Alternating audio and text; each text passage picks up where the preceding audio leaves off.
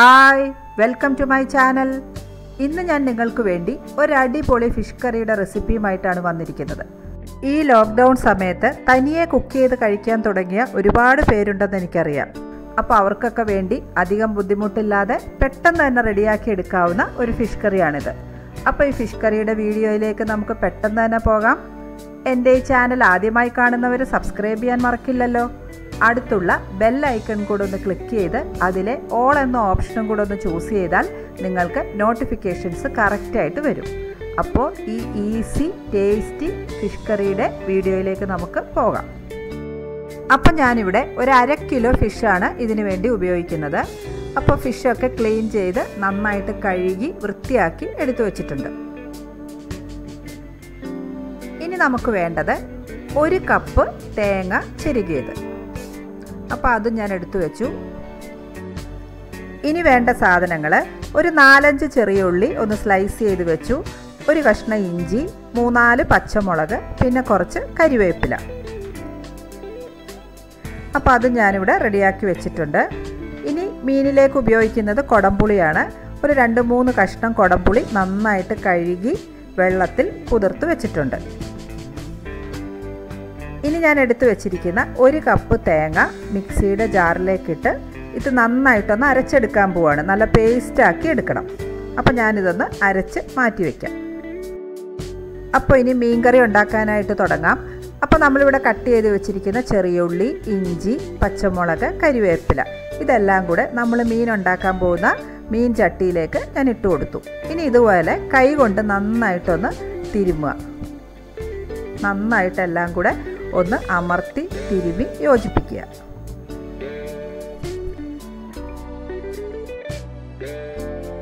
ഇനി നമുക്കിതിലേക്ക് പൊടികളൊക്കെ ഇട്ട് കൊടുക്കാം. അപ്പോൾ ഞാനൊരു മുക്കാൽ ടീസ്പൂൺ മഞ്ഞൾപ്പൊടി ഇട്ട് കൊടുത്തു. ഇനി എരിവില്ലാത്ത പിരിയൻ മുളക് പൊടി ഒരു രണ്ട് ടേബിൾ സ്പൂൺ ചേർത്ത് കൊടുത്തു. ഇനി സാധാരണ മുളക് പൊടി എരിവുള്ള മുളക് പൊടി ഒരു ടേബിൾ സ്പൂൺ ഇനി നമുക്ക് വേണ്ടത് മല്ലിപ്പൊടിയാണ്. അതും ഒരു ടേബിൾ സ്പൂൺ ഇട്ട് കൊടുത്തു. ഇനി ഇതെല്ലാം കൂടെ നന്നായിട്ടൊന്ന് യോജിപ്പിച്ച് കൊടുക്കുക. അപ്പോൾ ഇവിടെ നമ്മൾ എണ്ണ ഒഴിക്കുകയോ വഴറ്റുകയോ ഒന്നും ചെയ്യുന്നില്ല. എല്ലാം കൂടെ മീൻ ചട്ടിയിലേക്കിട്ട് ഡയറക്റ്റ് മിക്സ് ചെയ്ത് കൊടുക്കുകയാണ് ചെയ്തിരിക്കുന്നത്. ഇനി നമ്മൾ അരച്ച് വെച്ചിരിക്കുന്ന തേങ്ങ. തേങ്ങ അപ്പോൾ ഞാൻ കുറച്ച് വെള്ളം ഒഴിച്ചാണ് അരച്ചത്. അതും കൂടെ ഇതിലേക്ക് ഒഴിച്ചു. ഇനി നമ്മുടെ ഗ്രേവിക്ക് ആവശ്യമുള്ള അത്രയും വെള്ളം ഒഴിച്ചു കൊടുക്കുക. അപ്പോൾ ഞാനിവിടെ ആകെ ഒരു രണ്ട് കപ്പോളം ഒഴിച്ചു കൊടുത്തിട്ടുണ്ട്. ആദ്യം ഒരു കപ്പ് ഒഴിച്ച് ഒന്ന് മിക്സ് ചെയ്തു. അപ്പോൾ നമുക്ക് ഗ്രേവി എത്രത്തോളം വേണം അതിനനുസരിച്ച് വെള്ളം ഒഴിക്കുക. കുതിർത്ത് വെച്ചിരിക്കുന്ന കൊടംപുളിയും ഇതിലേക്ക് ചേർത്തു. ഇനി എല്ലാം കൂടെ നന്നായിട്ടൊന്ന് യോജിപ്പിച്ച് കൊടുക്കുക. ഇനി നമുക്ക് ചേർത്ത് കൊടുക്കാനുള്ളത് ഉപ്പാണ്. അപ്പോൾ ഉപ്പും ആവശ്യത്തിന് ഇട്ട് കൊടുക്കാം.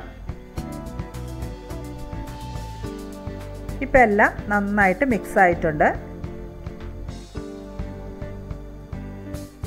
അപ്പോൾ ഗ്രേവിയുടെ പാകം നോക്കുക. വെള്ളം നമുക്ക് ആവശ്യമുള്ള ഗ്രേവി അനുസരിച്ച് വെള്ളം ചേർത്ത് കൊടുക്കുക. ഇപ്പം ഞാനിവിടെ രണ്ട് കപ്പ് വെള്ളമാണ് ആകെ ഒഴിച്ചു കൊടുത്തിരിക്കുന്നത്. ഇനിയിപ്പോൾ ഇത് ഞാൻ അടുപ്പിലേക്ക് വെച്ചു. ഗ്യാസ് സ്റ്റവ് ഓൺ ചെയ്തു.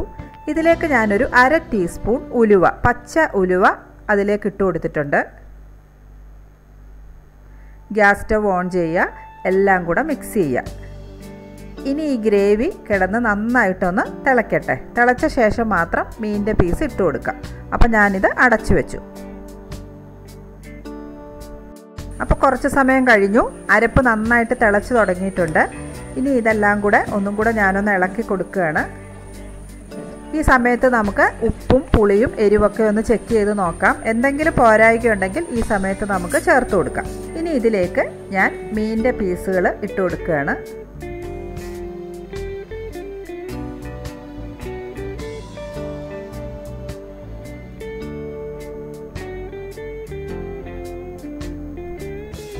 എല്ലാം കൂടെ പതുക്കെ ഒന്ന് യോജിപ്പിച്ച് കൊടുക്കുക. ഇപ്പോൾ ഇത് ഹൈ ഫ്ലെയിമിലാണ് ഇരിക്കുന്നത്. ഇനി പതുക്കെ ഇതൊന്ന് മീഡിയം ഫ്ലെയിമിലേക്ക് ആക്കിയിട്ട് നമുക്ക് അടച്ചു വെച്ച് വേവിക്കാം. ഇപ്പോൾ കുറച്ച് സമയം കഴിഞ്ഞു. ഞാൻ അടപ്പ് മാറ്റി നോക്കി. മീനൊക്കെ നന്നായിട്ട് വെന്ത് വന്നിട്ടുണ്ട്. ചാറൊക്കെ കുറുകി എല്ലാം നല്ല പാകത്തിനായിട്ടുണ്ട്. ഇനി നമുക്ക് ഇതിലേക്ക് ഒരല്പം വെളിച്ചെണ്ണയും കുറച്ച് കരിവേപ്പിലയും കൂടെ ചേർത്ത് കൊടുക്കാം. അപ്പം ഞാൻ കുറച്ച് വെളിച്ചെണ്ണ ഇതിലേക്ക് ഒഴിച്ചു. ഇനി നമുക്കിതിന്റെ മുകളിലേക്ക് അല്പം കരിവേപ്പിലയും കൂടെ വെതറി കൊടുക്കാം.